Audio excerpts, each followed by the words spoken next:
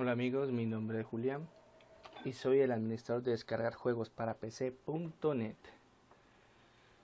Y en el día de hoy quiero presentarles o quiero mostrarles un truco el cual nos permitirá incrementar ciertos créditos casi ilimitados para el videojuego Dead Space.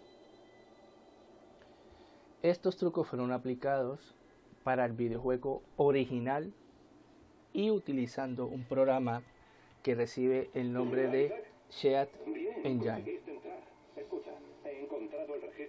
Bueno, mm, para aplicar estos trucos recomendamos que se hagan en un almacén y por lo que vamos a ir hacia a la búsqueda de este almacén que lo tenemos aquí.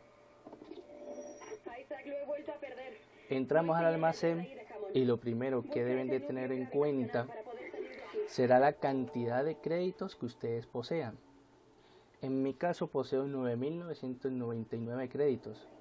Estos créditos que poseo eh, son debido a que ya había aplicado el truco con anterioridad. Bueno, en su caso, en su caso apuntarán los que tengan y vamos a abrir después el programa Chat Engine.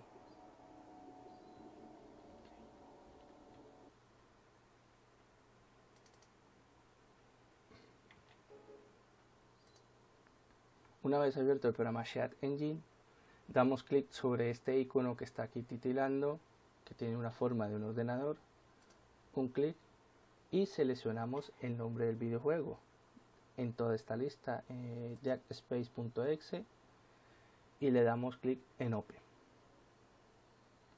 Ahora lo que vamos a hacer es la cantidad de créditos que ustedes tengan o hayan apuntado, los vamos a escribir sobre este campo.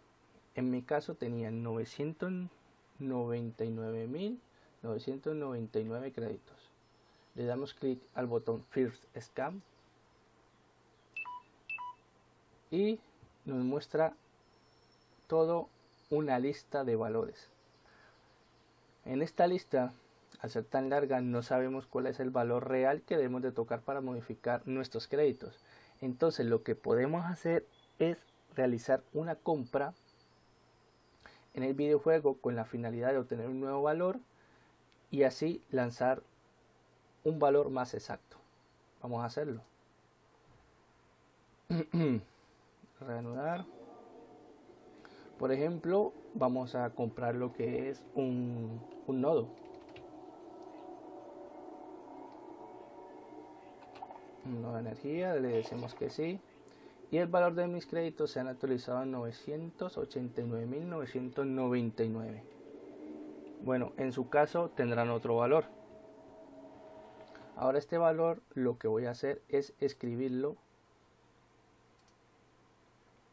en el chat engine. O sea, aquí.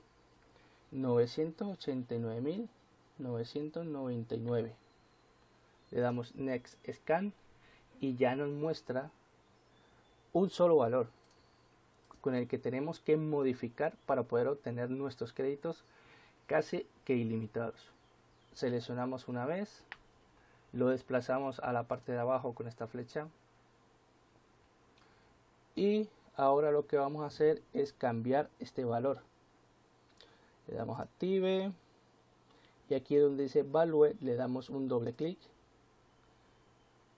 y lo cambiamos por el valor que deseen.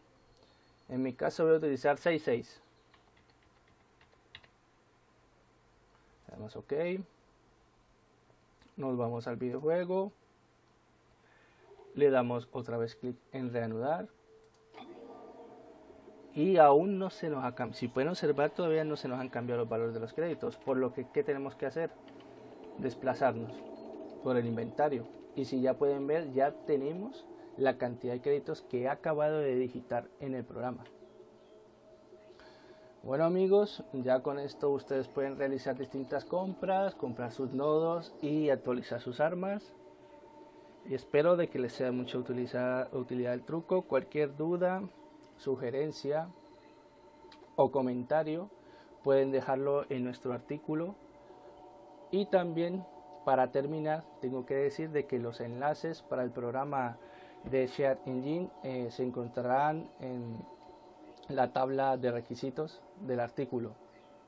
Bueno, un saludo para todos y hasta la próxima.